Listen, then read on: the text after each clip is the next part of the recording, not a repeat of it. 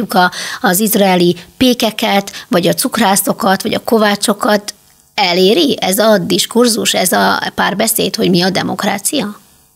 Teljesen eléri, ez hosszú ideig nem tudatosult a pékekben, meg a kovácsokban, de aztán tudat, akkor tudatosult bennük, mikor látták, hogy teljesen mellékes, hogy, hogy kit választanak meg, és milyen kormány é, é, kanalazza levest, a, a, a, tudom én, a, a krumpli levest a miniszterelnöki hivatalban. A döntések ugyanazok, mert nem a kormány hozza a döntést, és nem a parlament hozza a döntést, hanem, hanem ezek a különböző oligarchiák hozzák a döntéseket, és ezek az oligarchiák bármikor felülírhatják a, a népválasztott képviselőinek a döntéseit. És láttuk ezt az Egyesült Államokban is a nép megválasztott egy elnököt, akit úgy, akit úgy, hívnak, úgy hívtak, hogy Donald Trump, és nagyon sok dologban, például a külpolitikában igen keveset volt képes változtatni. Miért? Mert van egy oligarchia, amelyik, amelyik úgy gondolja, hogy ő a, ő a valódi vezető, és az, hogy vannak, vannak néha választások, és néha beledobnak papírdarabokat egy, egy dobozkába, az, az gyakorlatilag nem jelent sem.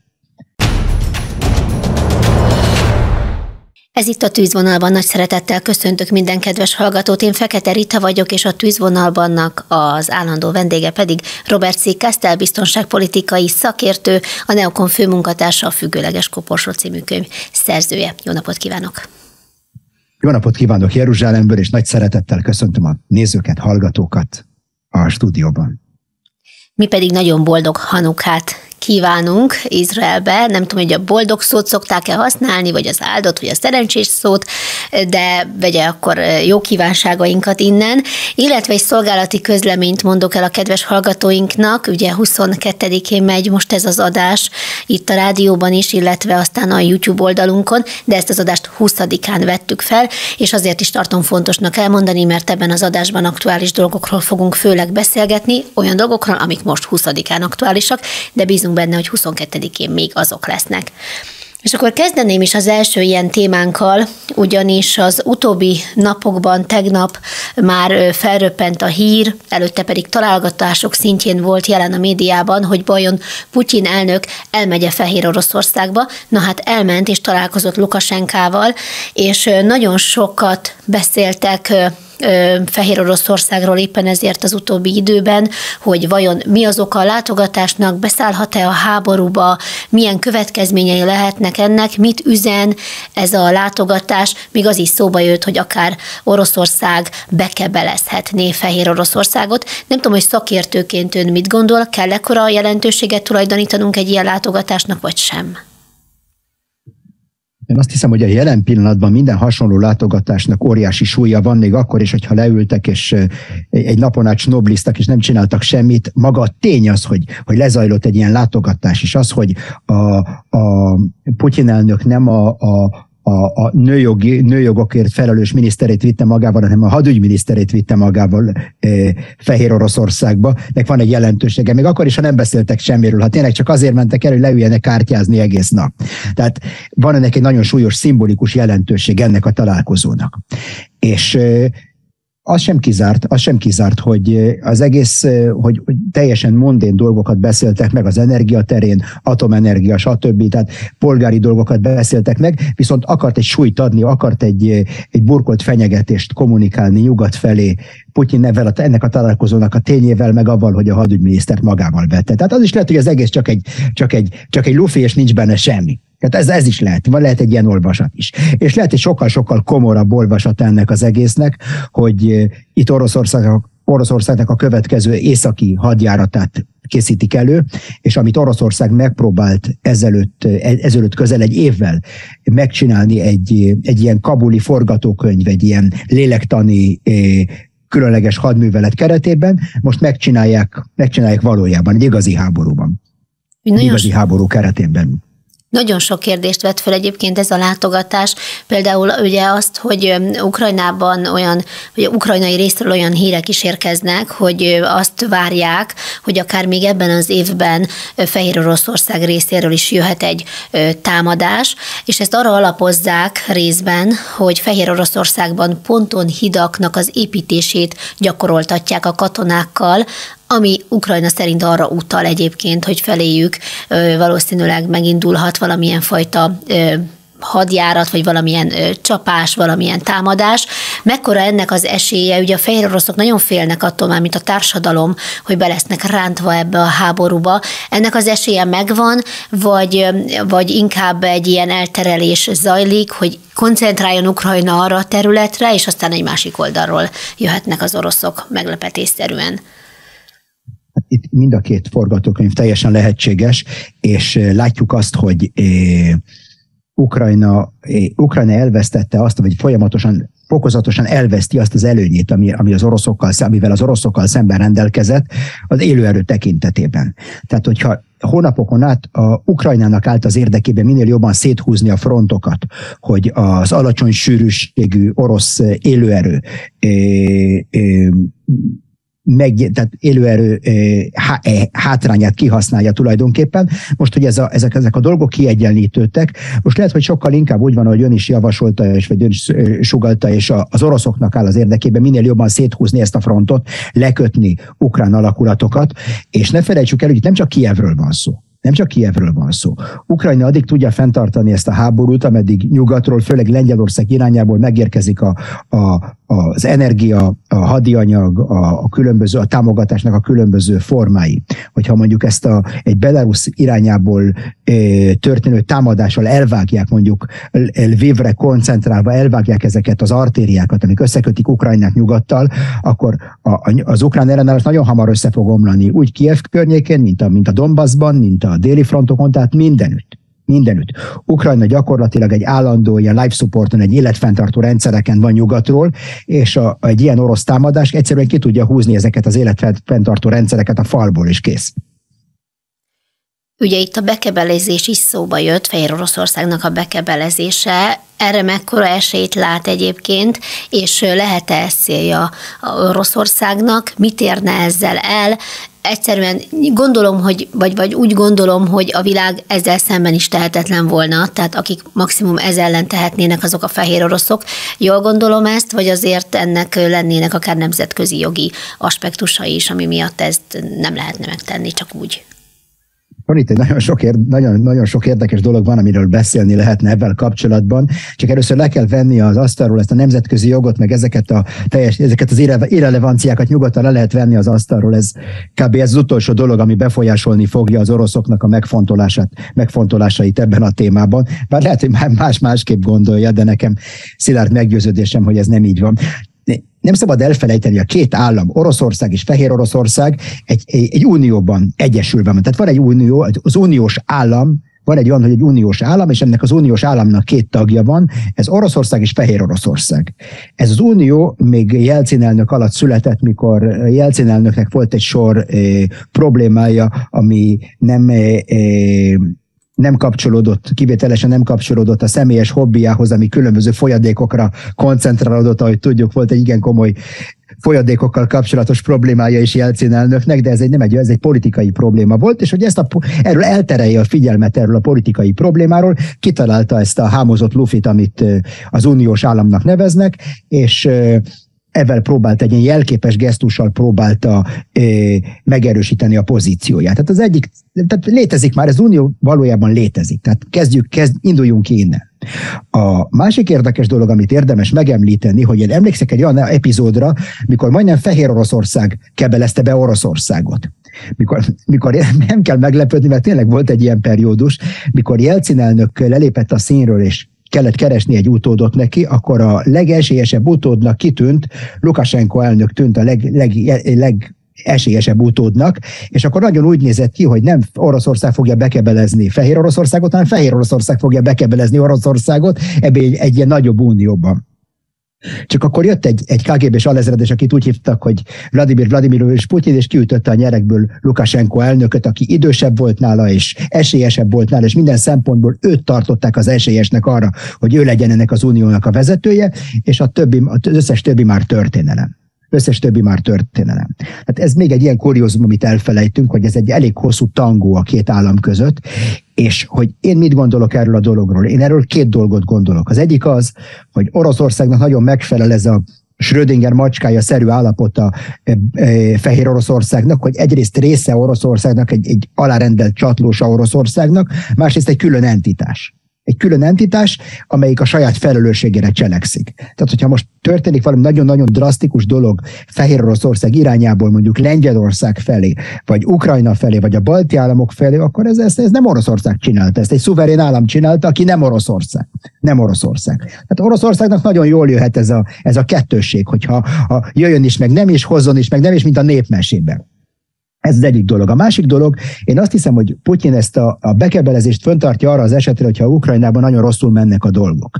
És akkor legyen ezt, ezt a, az, ezt a győzelmet mondjuk, hogy mindig felmutathatja az orosz nép felé, hogy sikerült kiterjeszteni Oroszország határai drasztikusan avval, hogy annektálta Belarus, még akkor is, hogyha Ukrajnában Oroszország esetleg elveszti a háborút.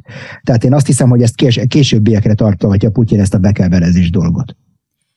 Fehér Oroszország önmagában stratégiailag, geopolitikailag fontos Oroszországnak, vagy csak Ukrajna miatt fontos?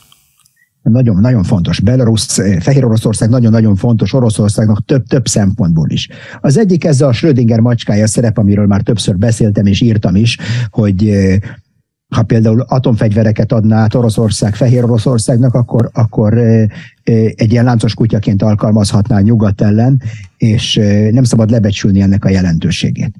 Nagyon, Fehér Oroszország nagyon fontos puffer Oroszország és a balti államok között, vagy másképp tekintve ezt a dolgot egy átjáró ház Oroszország és a, a, a baltik, balti államok között, Oroszország és Kaliningrád között, a Kaliningrádi oblast között egy a, a Fehér Oroszország egyfajta ugródeszka, és bármilyen vállalkozás, amiben Oroszország fog kezdeni a balti államok ellen, annak abban Fehér Oroszországnak igen fontos szerepe, igen fontos szerepe lehet. Hát én azt hiszem, hogy ez egy ilyen, ez az egyik osztopa Oroszországnak, hogy a nyugat megpróbált egy előretolt helyőrséget létrehozni Ukrajnából Oroszországgal szembe, Oroszország előretolt helyőrség a nyugattal szembe, az Fehér Oroszország. Akkor egy picit tovább megyünk, ha már itt Oroszországnak a területi érdekeltségeiről beszélünk Moldovára, ugyanis a hét elején nagyon nagy kockázatra figyelmeztetett az országnak a kémfőnöke, tehát Moldovának a kémfőnöke, és azt úgy fogalmazott, hogy nem is az a kérdés, hogy Oroszország újabb offenzívát indít-e Moldova területe ellen, hanem az, hogy mikor. Én teljesen egyetértek az illető úriemberrel level kapcsolatban, hogy ez tényleg csak a mikor kérdése. Hát geopolitikailag nézve a dolgot függetlenül a napi politikától, eh, van egy olyan dolog, hogy a, a, a beszarábiai hágó, a Kárpátok és a tenger között, a Fekete-tenger között, és ez volt a hagyományos inváziós útvonala az ottoman birodalomnak Oroszország területe felé. És ezt a, ezt a hágót, ezt a kapuját Oroszországnak geopolitikai gond, szempontból Oroszországnak le kell zárnia. És egy nagyon fontos lépés lenne a kapu lezárása felé eh, Moldva nem beszélnék bekebelezéséről, hanem inkább az orosz befolyás alá vonása.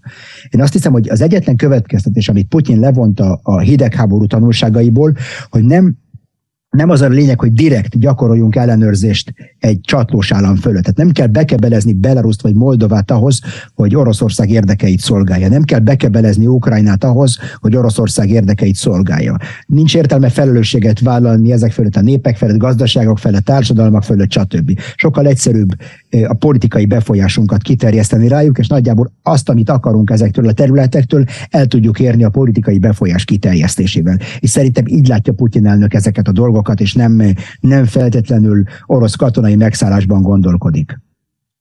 Ugye azt is lehet olvasni, hogy Moldova éppen ezért Ukrajnához hasonlóan most sokkal szorosabban, sokkal aktívabban keresi a nyugattal való kapcsolatot, de látjuk azért azt, hogy az Európai Uniónak, a nyugatnak Amerika egy külön fejezet róla, elég sokat beszélhetnénk egyébként, de a nyugatnak, a Európai Uniónak így is nehéz ez az ukrajnai háború kapcsán kialakult helyzet, az energiaválság és a többi. Tehát ha Moldovával is egy hasonló eset történne, kétséges, hogy fel lehetne karolni, fel tudná, elbírná-e az Európai Unió ezt a, ezt a két frontos segítségnyújtást?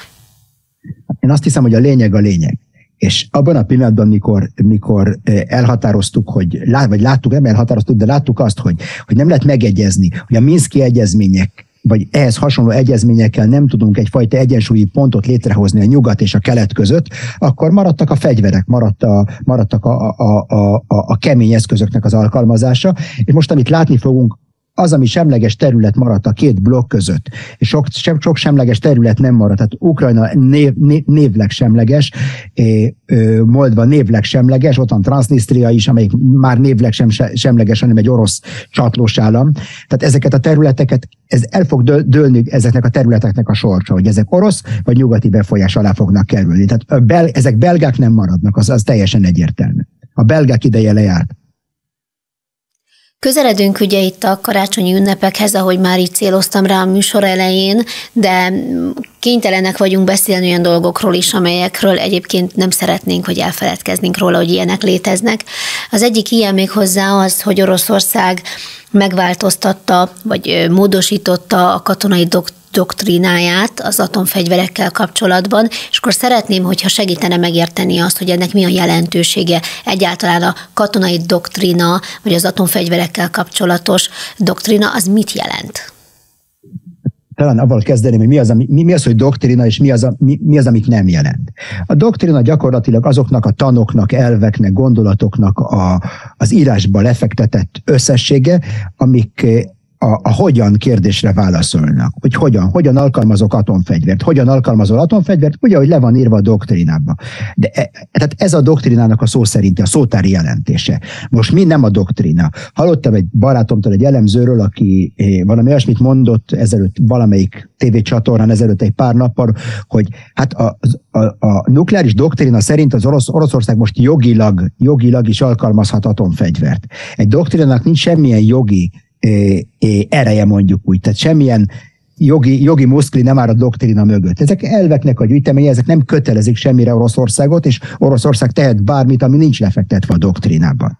Egyszerűen sokkal egyszerűbb úgy dolgozni, úgy cselekedni, hogy a cselekvésnek az elveit már erről átgondoltuk, megbeszéltük, lerögzítettük és gyakoroltuk. Tehát ez, ami a doktrinát illeti.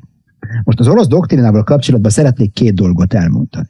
Az egyik az, hogy van egy nyilvános doktrina, amit ismerünk, és ezen csámcsogunk, mi az elemzők nagyon szeretünk ezen az orosz doktrinán csámcsogni és belekapaszkodni minden veszőbe és minden írásjelbe, és szerintem itt, itt, itt teljesen, teljesen tévúton járunk. A publikus orosz nukleáris doktrina például egy vak hangot nem szól Kínáról. Kínáról mikor fog, milyen helyzetekbe vethetne be Oroszország atomfegyvert Kína ellen. Erről nem szól a nyilvános doktrína.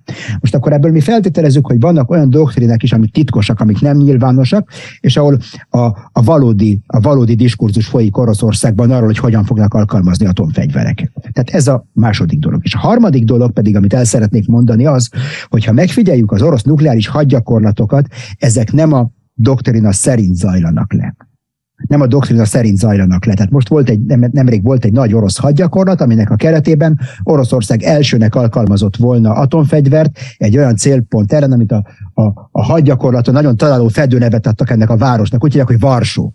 Hát az orosz hadgyakorlatban a Varsó fedőnevet adták annak a városnak, amire egy, egy első, elsődleges, nem provokált atomcsapást mért volna Oroszország. Tehát ebből tehát mikor a, a, a valódi viselkedését látjuk egy hatalomnak, és ezt összehasonlítjuk a doktrinával, akkor feltevődik a kérdés, hogy mi, mi az, ami nagyobb súlyjal nyom a latban. Az, amit csinálnak, vagy az, amit leírtak egy papírra ezelőtt egy pár évvel. Na de akkor... ennyit, ennyit a doktrináról. Na de akkor konkrétan beszéljünk arról is, hogy mi változott ebben a doktrinában, miről van szó az orosz nukleáris doktrina a publikus, nyilvánvaló, hogy a titkos doktrinát nem ismerem. Arra csak következtetni tud, tudhatunk a hadgyakorlatokat figyelve. Olyan, mint egy tangóharmonika. Az állandóan terjeszkedik, és állandóan utána pedig össze, összeszűkül. Tehát a legalapvetőbb kérdés, amire a doktrína választ ad, az, hogy milyen körülmények között fogja Oroszország bevetni az atomfegyvereit. És voltak idők, például a, a, a 2010-ben, ha jól emlékszek, volt egy eh, kiterjesztés ennek a doktrínának, és akkor a, a több olyan okot említettek meg abban a dokumentumban, eh, mint a korábbiakban, vagy mint a későbbiekben, hogy milyen körülmények között vetheti be Oroszország az atomfegyvert. A legutolsó doktrinát, ha jól emlékszek, ezelőtt egy évvel körülbelül fogadták el, és ez egy elég szerény, elég szikár doktrina, összeszűkítette, jobban, jobb, jobban korlátozza, tehát jobban korlátozottak azok a azok az esetek, amik feljogosítják, Oroszország, feljogosítják Oroszországot az atomfegyver alkalmazására, mint a korábbiak. Mint a korábbiak. Ezzel szemben mit látunk? Látjuk, hogy most Putyin elnök már másodszorra beszélt arról, hogy Oroszország meg fogja változtatni a doktrinát, és, doktrinát, és igenis alkalmazni, vagy elfogadják az elvét annak, hogy Oroszország bevethet elsőre atomfegyvereket provokálás nélkül. Ez a first use-nak az elve, az elsődleges felhasználás elve, tehát nem csak válaszra fogom használni az atomfegyvereimet, nem csak elrettentésre, hanem bizonyos körülmények között én leszek az első, aki atomfegyvert fog bevetni. Ez mennyire növeli meg az atomfegyver bevetésének a lehetséges esélyét? mindenképpen megnöveli, mert a, a NATO-nak ez volt és maradt a katonai doktrínája, hogy az atomfegyvereket bizonyos esetekben akkor is bevetjük, hogyha ez nem atomfegyver, egy atomcsapásra adott választ lenne, hanem másfajta, másfajta provokációkra adott választ lenne. És most ugyanezt mondja Oroszország is. Tehát eh, mikor, mikor szoktak a hatalmak, mikor szokták ezt a fajta doktrinát alkalmazni? Akkor, mikor úgy gondolják, hogy a konvencionális haderejük nem elég erős ahhoz, hogy egy konvencionális támadást e, e, e, le tudjanak állítani, vagy, vagy meg tudjanak fékezni. Hát mikor úgy gondolom, hogy konvencionálisan gyenge vagyok, akkor fogok atomfegyvereket használni. Ha úgy gondolom, ez az első lehetőség. A második lehetőség pedig az, hogyha úgy gondolom, hogy bizonyos körülmények között a másik fél olyan csapást tud rám mérni, vagy konvencionális, vagy nem konvencionális eszközökkel, amik megakadályozhatnak engem abba, hogy atomfegyverrel reagáljak, Klasszikus példa erre a támadás a, a, a, a Kurszkban állomásozó orosz stratégiai bombázók ellen, akkor én bevethetem ezeket a fegyvereket a, a, a use it or lose it elve alapján. Tehát addig használom őket, ameddig el nem veszítem. Tehát, hogyha úgy érzem, hogy nagyon nagy a kitettségem, és egy ilyen megelőző csapással az ellenfél el tudja venni tőlem azt a lehetőséget, hogy a későbbiekben atomfegyvert vessek be, akkor ezt megelőzve én fogok használni elsődlegesen atomfegyvert. Még két olyan hírünk van, ami kicsit már távolabbról, de még kötődik Oroszországhoz és az Ukrajnában zajló háborúhoz, utána pedig fogunk foglalkozni a Katargéttel, amelyet így neveztek el, illetve India és Kína közötti feszültséggel is, úgyhogy érdemes lesz a továbbiakban is velünk tartani, de akkor még ez a két hír itt van nekünk. A Wagner csoport miatt vonultak ki a francia katonák, most felgyújtották az Európai Unió képviseletét, hétfőre viradólag felgyújtották a képviseletetnek az épületét, a Közép-Afrikai Köztársaság fővárosában, Banguiban. Párizs a Wagner csoport orosz biztonsági magáncég helyi jelenlétével indokolta egyébként a katonáinak a kivonását. Afrika lehet egyébként egy újabb helyszíne annak, ahol Oroszország, illetve bizonyos nyugati csapatok között létrejön valamilyen fajta konfliktus. Itt ugye a Wagner csoportról van szó, és, és hát ez egy irreguláris szervezet, vita, meg kérdés az, hogy mennyire szorosan kötődik Oroszországhoz, egyáltalán kinek tekintsük őket? Hát igen, sok kérdést tett föl, megpróbál őket hogy meg, megválaszolni egy, egy csomagban mondjuk úgy. És én azt hiszem, hogy a legfontosabb dolog, amit ezzel kapcsolatban el kell mondani, hogy nincs olyan nap alatt. Nincs olyan nap alatt, hogy a prédikátor könyvében meg van írva, nincs olyan nap alatt. Ugyanezt láttuk a 19. század közepén, mikor Fasodánál, Szudánban találkoztak a, a francia meg a brit eh, erők összeütköztek, mind a két fél magának követelte Szudánt, és fölmerült a lehetőség egy világháborúnak, mondjuk úgy az akkori kor fogalmai szerint a két nagy birodalom, a brit meg a francia birodalom között, és akkor diplomáciai úton sikerült ezt, ezt kezelni ezt a problémát. Rengeteg ilyen összeütközés volt az úgynevezett gyarmatokon, vagy a nem nyugaton, a nyugati hatalmak között, és ami volt, az lesz, ezt látjuk. Láttuk, Irakban volt egy amerikai légicsapás a Wagner zsoldosok ellen, akik megpróbáltak átkelni egy hídon és elfoglalni olyan területeket, ahol Amerikának nagyon fontos érdekei vannak a helyi e, e, energiaforrások miatt. Tehát ott láttunk egy ilyen összeütközést a Wagner és az amerikai hadsereg között, és gyakorlatilag ez ez a régi gyarmati háborúknak a, a, a reciklálása a reciklálása. Látjuk Franciaország behatolását Fekete-Afrikában, jelenlétét Fekete-Afrikában. Van 14 franciaul beszélő fekete-afrikai állam, vannak migrációs érdekeltségek, energiaérdekeltségek, Oroszországnak vannak érdekei, Kínának vannak nagyon fontos gazdasági érdekei és katonai bázisai Afrikában. Tehát a, a nagy játék folyik tovább, nagy gyarmati játék folyik tovább. És ami a Wagner, Wagner természetét illeti, erre is van egy történelmi párhuzam, mielőtt a brit birodalom, brit, birodalom a mai formáját öltötte volt, volna, volt egy olyan brit kelet-indiai társaság. És az, a brit kelet-indiai társaságnak a gyarmati csapatai viselték Nagy-Britániának a legtöbb gyarmati háborúját hosszú-hosszú évtizedeken át, mielőtt idézőjelvetéve államosították volna ezt a gyarmatosítást, és a brit állam vette volna át ezeket a dolgokat. Tehát ebben sincs semmi új az égvilágon, csak a celofán változik. Van még, még egy hírünk, amely Oroszországhoz kapcsolódik, méghozzá az orosz hadi felszereléshez, az orosz egyenruhákhoz. Egy érdekes cikket találtam a foxnews.com-on jelent meg azzal kapcsolatban, hogy milyen felszerelésben is küldi ki Oroszország az orosz katonákat például Ukrajnába harcolni.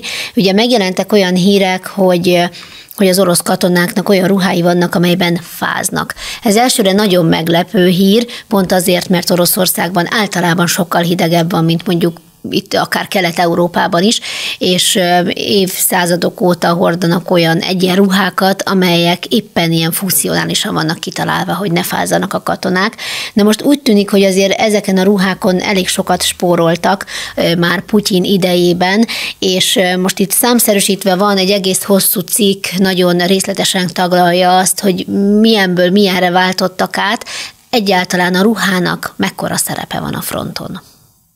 Ebből kapcsolatban szeretnék néhány dolgot elmondani. A cikk szerzője Rebecca Koffler egy nagyon-nagyon komoly, nagyon jól felkészült CIA elemző, nagyon magas beosztásban szolgált a CIA-ban. Ő maga Oroszországban született, és onnan, onnan emigrált a családjával, zsidó családról van szó, onnan emigrált a családjával az Egyesült Államokba.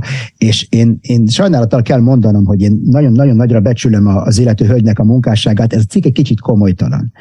Tehát teljesen belefér a dologba az, hogy az oroszok borzalmas felszereléssel és borzalmas egyenruhákban mentek eh, harcolni, de nem erről van szó.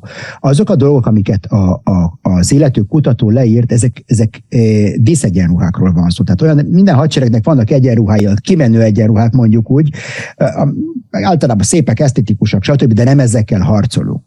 Tehát nem ezekkel harcolunk. Vannak olyan egyenruhák, amiket harci körülmények között használnak, és azok teljesen más egyenruhák, mint ezek a díszegyenruhák. És hogyha jól értettem, ezek különböző orosz divattervezők által tervezett egyenruhák, ezek, ezek, ezek díszegyenruhák. És én nem feltételezem, hogy az orosz hadsereg azokban a szép díszegyenruhákba megy harcolni Ukrajnába, amiket a képeken látunk. Tehát eh, én azt hiszem, hogy ilyen szempontból a, a, a cikk egy icipicit komolytalan. Icipicit komolytalan, de abba teljesen belefér az, hogy a, az oroszok eh, olcsó, alacsony minőségű, hiányos felszereléssel vonultak ebbe a téli, téli hadjáratba, és ennek meg lesznek a következményei. Mennyire számít egyébként a ruha, amikor az ember harcol, amikor kint van a fronton? Tehát, hogy mekkora jelentősége ennek, ha most össze kéne, tehát a mérlegen hogy néz ez ki, ha össze kéne vetni azt, hogy milyen fegyvere van, milyen kiképzést kapott, mennyit számít ebben a ruha? Nagyon sokat számít, nagyon sokat számít a, a, a moral fenntartásában, meg a fizikai, a, a fizikai harcképesség fenntartásában, ez egy kritikus dolog. Ez egy kritikus dolog, a, a, ha az emberi test elveszti a képességét arra, hogy a, az energiát, amit bevisz, az megtartsa magának, akkor nem lesz képes cselekedni, aktívan cselekedni a terepen. Tehát egy olyan katona, akinek a bakancsa nem megfelelő, az egyenruhája nem megfelelő, az, az a, a szenved, az nincs a fizikai eh, teljesítőképességének a csúcsán, nem, nem nem egy, nem egy, nem egy hatékony, nem tekinthető egy hatékony harceszköznek. Tehát mindent meg kell tenni arra, hogy a lehető legjobb felszerelést adjuk a katonáinknak. Ennek a felső határa a csillagos ég. Tehát, hogy csak egy kuriózumot említsek, egy, egy valóban egy csúcsterméknek számító egyenruha, egy nadrág meg egy ing az 500 dollár. A Cry Precision-nek az egyenruhái, amit csak néhány nyugati állam különleges alakulátában vesznek a, a különleges műveleti katonáknak, 500 dollár csak egy nadrág meg egy ing. Hát iszonyatos összegekről van szó, és amit látunk, ezeknek vannak olcsó, más, olcsó kínai másolatai, vagy a távol-keleten készült másolatai, gyenge minőségű műszeres anyagokból, és ennek, am, amit fizetünk, annyit kapunk ezekben a dolgokban is. Bevallom, azért is ragadta meg a figyelmemet ez a cikk, mert éppen az első világháborúval foglalkoztam, és ott ugye például a, a, a monarchiának a katonái jóval alul öltözöttebbek voltak az orosz katonáknál, és ez a harcszéren igencsak kijött ez az ellentét, és meglátszott az, hogy úgymond ki van igazán fölöltözve, és ki az, aki nincs. Igen, hát én azt hiszem, hogy előbb-utóbb a, a, van itt egy ilyen darwinista folyamat. A katonák nagyon hamar ö, meg fogják tanulni azt, hogy mi az, amire szükségük van, írnak haza, és elküldik nekik otthonul a, a legjobbat, amit, ö, amit csak-csak be lehet szerezni, és akkor ebben fognak harcolni. Tehát a harci körülmények között nem az a lényeg, hogy hogy néz ki az ember, és hogy milyen bakancsa van, hogy az a kincstári bakancs, vagy pedig egy 3-400 dolláros bakancs, amit a, az Amazonon keresztül rendelt a családja, vagy valamilyen kínai szolgáltatótól, hanem a, a, a hatékonyság a lényeg.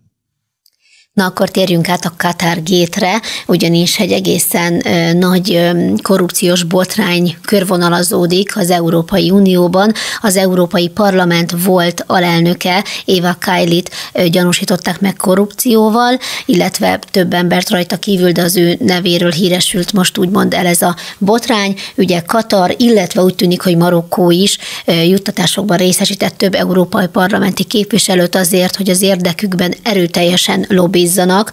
Most már egy olasz európai parlamenti képviselő is bekerült a képbe, Elég bonyolult a helyzet, a hírek is picit néha ellentmondásosak, úgyhogy a részletekben nem is szeretnék igazából elveszni a hír kapcsán.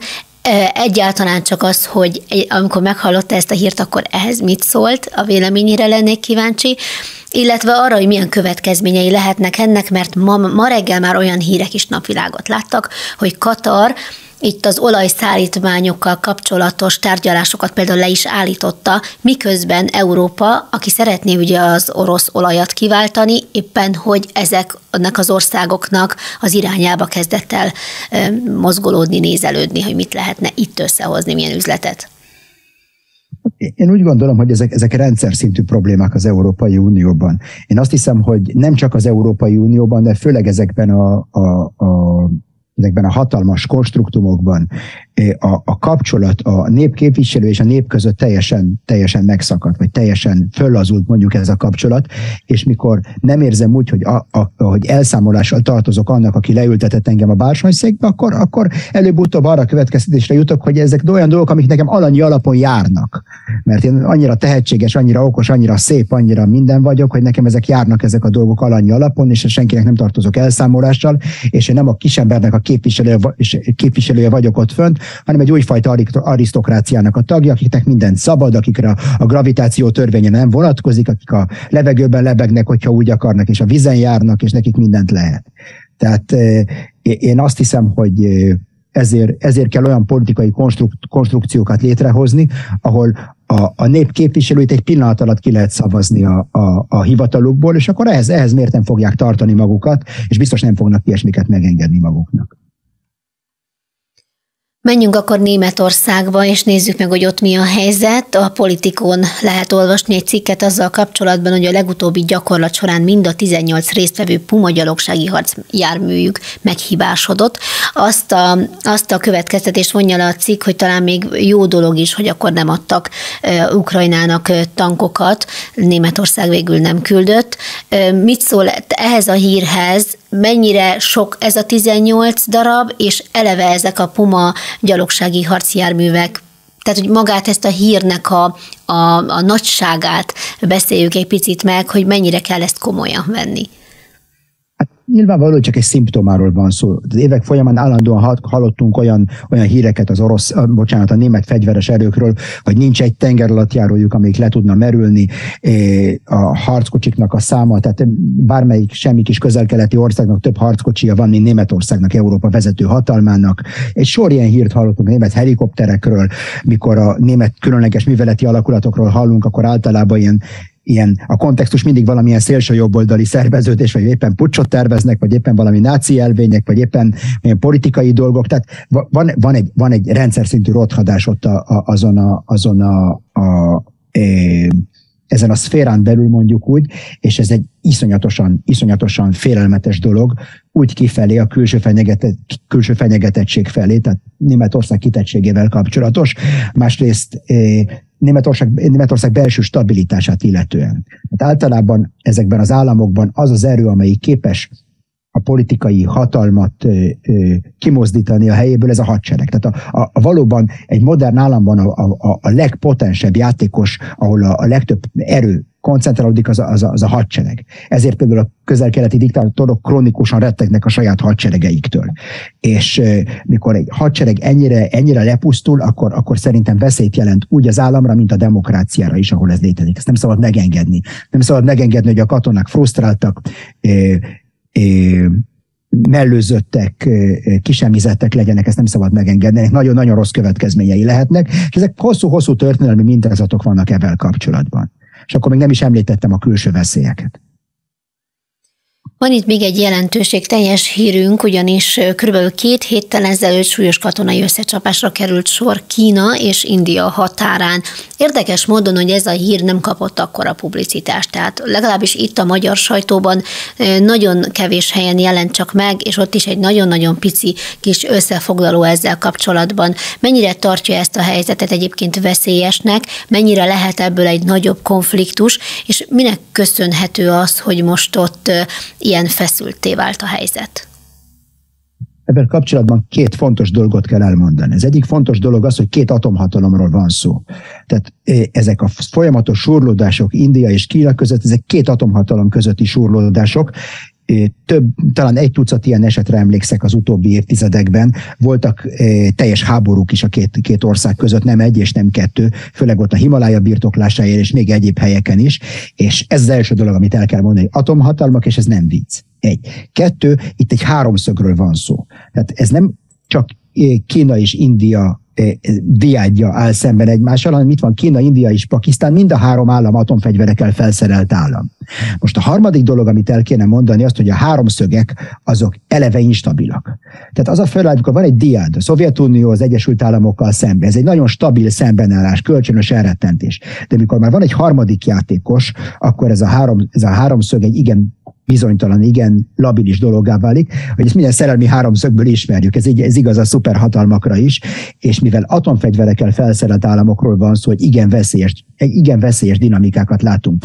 Ezelőtt egy évvel volt egy súlyos összecsapás Pakisztán és India között, a végén a pakisztániak lelőttek egy indiai harci repülőgépet, fogjulejtették a pilótát, tehát szintén atomhatalmak surlódnak egymással, és reméljük, hogy sikerülni fog ezeket a konfliktusokat lokalizálni és összezsugorítani, hogy ilyen határmenti surlódások szintjén maradjanak meg, és ne eszkalálódjanak.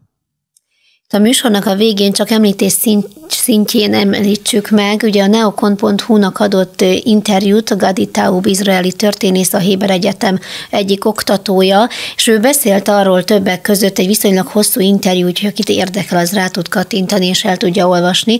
Én azt emelném csak ki magából az interjúból, amit a nemzetállamokról, illetve a globalizmusról, a globalistákról mondott, és kíváncsi vagyok az ön véleményére, már említettük mi is itt egyébként a tűzvonalban többször röviden ezt a fajta szembenállást a globalisták, illetve a nemzetállamok között. A jövőben ez lehet egyébként ön szerint a központi kérdés, hogy valaki a globalisták, valaki pedig a nemzetek irányába mozdul el. Itt Magyarországon nagyon sok politikai elemző, politológus úgy gondolja, hogy akár a magyar belpolitikát is igazából már ez a kérdés határozza meg. Teljesen egyetértek dr. Gádi Taubal, mert jó, jó barátom az illető, nagyon komoly kutató, nagyon érdekes figura. Ő tulajdonképpen az izraeli baloldalból érkezik meg, a családjait is egy hagyományosan baloldali család, a baloldali establishmentnek a szívéből jön mondjuk úgy, és onnan változtatta meg az álláspontját, és a, a, az ő eredeti tézise az, hogy vannak, e, vannak olyanok, akik mobilisak, és vannak olyanok, akik helyhez kötöttek. És akik helyhez kötöttek, ez nem feltétlenül fizikailag kell érteni, hanem az értékekben, gondolkodásban, világnézetben, stb. És ő ezekben, ezek, ennek a két ö, szférának az ütközésében látja ugye az izraeli politikának a, a, a, a dinamikáját, mint a globális politikának a, a dinamikáját, és azt hiszem, hogy ez, ezek a dolgok mindenütt jelen vannak a, a úgy Magyarországon, mint Izraelben, mindenütt jelen vannak a nyugati világban, az Egyesült Államokban is látjuk ezeket a dolgokat. Itt gyakorlatilag morális kérdésekről van szó, az értékekről.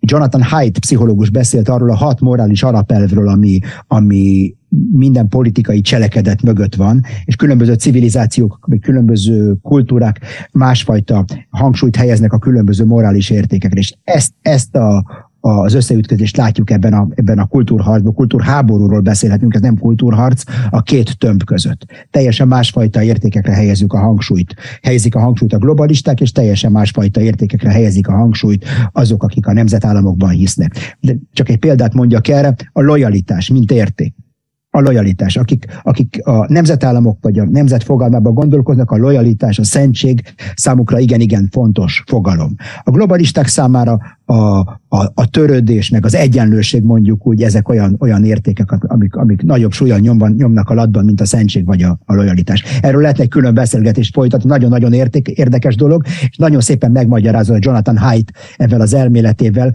hogy miért nem értünk egyet tulajdonképpen. Honnan, miből fakadnak a politikai világnézetek.